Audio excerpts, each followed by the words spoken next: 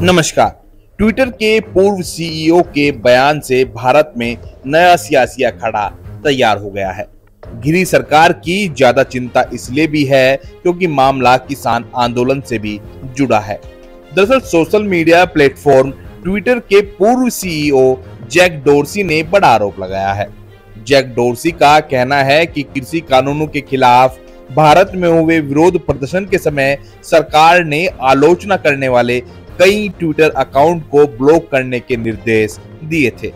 Dorsey ने दावा किया है कि भारत सरकार की तरफ़ से उन पर दबाव बनाया गया था और ट्विटर को भारत में बंद करने की धमकी भी दी गई थी। समाजवादी पार्टी ने इसे शर्मनाक बताते हुए कहा है कि भाजपा सरकार अपनी तानाशाही सोच का प्रदर्शन करके पूरे विश्व में भारत के लोकतंत्र का अपमान कर रही है। राष्ट्रीय लोकदल ने टिप्पणी की है कि कितना शर्मनाक है ये जानना कि हमने जिन्हें लोकतंत्र की ज़िम्मेदारी दे रखी है, उन्होंने लोकतंत्र की आवाज़ दबाने का भरसक प्रयास किया। कांग्रेस की भी टिप्पणी आई है। कांग्रेस प्रवक्ता सुपीरिया ने कहा है कि ट्विटर के फाउंडर और पूर्व सीईओ जैक डोरसी ने खुलासा किया है कि मोदी सरकार ने उन्हें धमकाया। अगर किसान आंदोलन दिखाया तो ट्विटर के ऑफ़िस और कर्मचारियों के घर छापे पड़ेंगे। ट्विटर को भारत में बैन कर दिया जाएगा। जब देश के किसान अपने हक की लड़ाई लड़ रहे थे तो प्रधानमंत्री मोदी उनकी आवाज़ दबा रहे थे।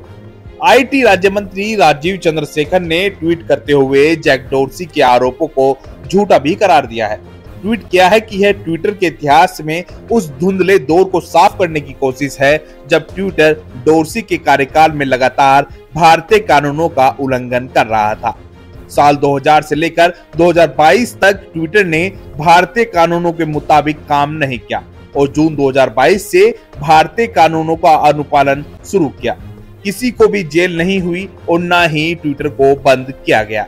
डोरसी के कार्यकाल के दौरान ट्विटर को भारत की संप्रभुता और भारतीय कानूनों को स्वीकार करने में समस्या थी।